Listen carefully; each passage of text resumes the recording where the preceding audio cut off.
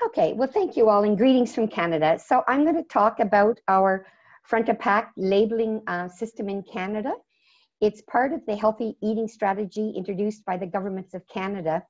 And just to explain, we're at the phase right now of being at Canada Gazette Part 1. In other words, the regulations were published last February, but they are not finalized until the final regulations are published within 18 months of that date. So we expect the final versions of the regulations to be um, out in either late 2018 or into 2019.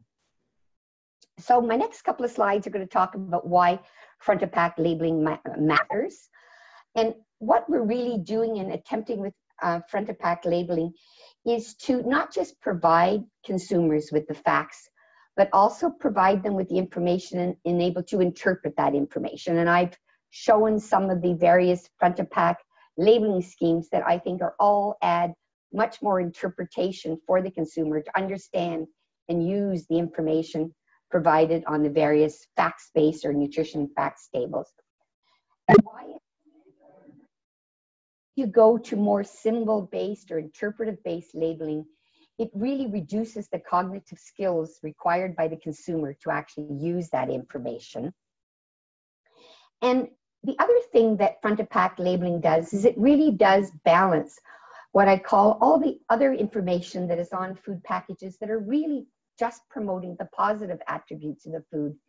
And for consumers, that really can give what we call a halo effect. And this is data from our research group that really shows that right now about 50% of foods in the Canadian uh, food supply carry some form of claims on the front and, and about 20% have already have front of pack symbols, but all of these refer to positive attributes of the food. And what do I mean by this halo effect? Um, this was another study done looking at um, a food, I think it was a, a chicken dinner. And you can see in the light blue over on this side, this is just the nutrition facts table. But when a food has a health check showing it's healthier, consumer thinks it's healthier, even though that's exact same food with the same nutrition facts table. Similarly, when there are um, um, specific systems or traffic light labels, while just the, the guideline daily amount, which just gives nutrient levels, performs similarly to the, um, in terms of the eye of consumer being healthy as the nutrition facts table. Equally, we get that same effect with the foods that have health claims. And I said about 50% of the foods have health or nutrition claims. And if you look at the first bar as in terms of how the consumer consider this happens to be a soup can, a tomato soup, when the food has a nutrient content claim or a health claim, consumers perceive the food as being healthier, even though it has exactly the same nutrition information, and in turn would be more likely to purchase that food. And the final reason of why um, nutrition, uh, front simplified nutrition front of pack labeling is important is that halo effect is actually higher and more magnified in consumers with lower health literacy. And this was a study of a whole variety of juices and beverages that had a variety of labels on and a variety from unhealthy to healthier beverages. And you can see that consumers with that had lower health literacy perceived those foods, no matter what the nutrition levels were, to being healthier than those consumers who had adequate health literacy.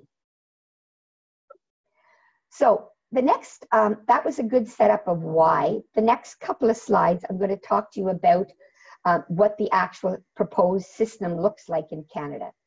So the regulations that have been proposed were that it will be a mandatory system. Unlike the traffic light labeling, it will be mandatory. All foods that exceed the thresholds will have to put the front of pack warning type label on foods. Although at this point, with the last uh, publication in Canada Gazette Part 1, we do not know what the actual label symbol will look like, but it will have elements similar to what we see here, but the final version we don't know. The symbol will be based on thresholds for three nutrients of public health concern, and they include saturated fats, sugars, and sodium. And there will be some exemptions for foods consistent with the food guide.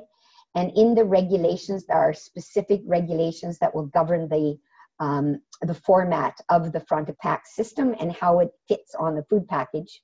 I'll describe that next.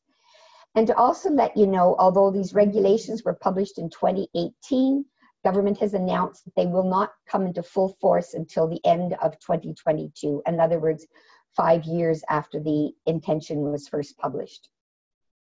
Oops, sorry. And so now I'm just going to briefly overview. Um, Mike had said the UK system was based on a 25% threshold. In Canada, the Health Canada is proposing that the thresholds would be based on foods that exceed 15% of the daily value, and it would be 30% for packaged meals or main dishes. And this is consistent with the labeling education program that has been set up in Canada and has been operating for a number of years, where Canadian consumers have been taught to use this daily value symbol, where 5% represents a little and foods that exceed 15% um, are considered a lot of a nutrient. So the front of pack labeling will also be consistent with our nutrition labeling education campaign as well. I mentioned there will be some uh, exemptions. So in other words, foods that um, are already exempted from carrying a nutrition facts table, for example, unprocessed vegetables and fruits or meats, will be exempted from the front of pack labels, as will restaurant foods. Unfortunately, they don't have nutrition facts tables, so as the legislation currently sits, they will not be required to, have front of pack logos on the restaurant menu boards or uh, in menus.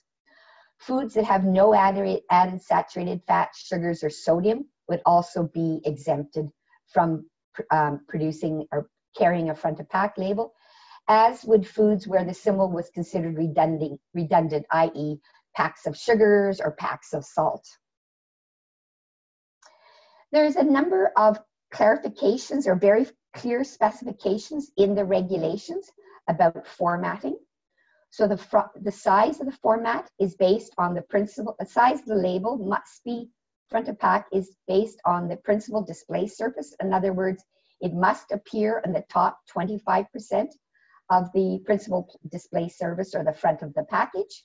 There can be no other nutrition information in a buffer zone. In other words, the top 35% cannot have any competing um, health related names, logos, symbols, or seal of approvals or other marks in that top 35% of the package.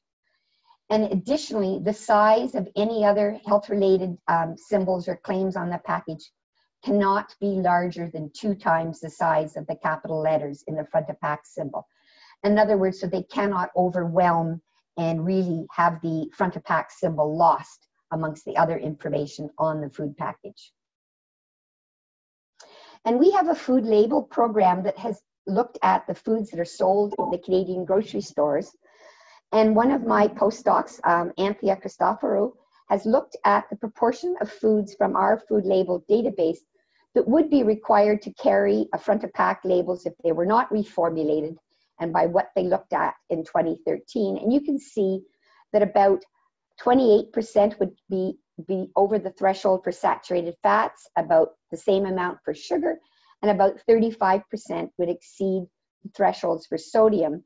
And that would result with about 67% of foods, if they're not reformulated, would carry at least one front of pack symbol in Canada. And this, of course, would vary by food group, as all, not all food categories are some are much more healthy than others. So obviously, you wouldn't see as many front of pack symbols in all the food categories. And I just would like to, fin to finalize by just saying what we see this um, system doing is really moving the responsibility for making healthier food choices from what were just simple education programs that put all the onus on the consumer to find and make healthier food choices to things like regulating regulations where you mandate nutrition facts tables on um, food packages we have mandated calorie labeling in some uh, restaurants in Ontario, one province, and now, of course, this mandated front of pack labeling system. But I think we also see that we can even go further with other regulations that are currently being introduced in Canada.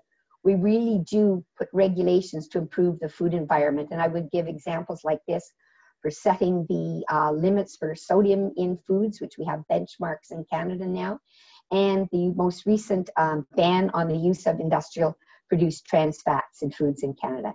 And with that, I'd like to thank you all very much and um, um, also acknowledge the funders and many students and collaborators who we've worked with over the years in this area. Thank you. Thanks very much, Mary. There was just one question that uh, came in that I think is worth answering now before I go to Chantal Julia, and that is Are cheeses included in the system? Um, yes, cheeses are. Um, now, how they'll work out in the final um, uh, thresholds and cutoffs, um, there is still some work being done. And as because we're in phase one of the Canada Gazette, there may be some adaptations to ensure consistency with Canada's food guide. But as, as it is now, there are a number of cheeses that would have um, either, so, for example, sodium front of pack labels in some of the cheeses.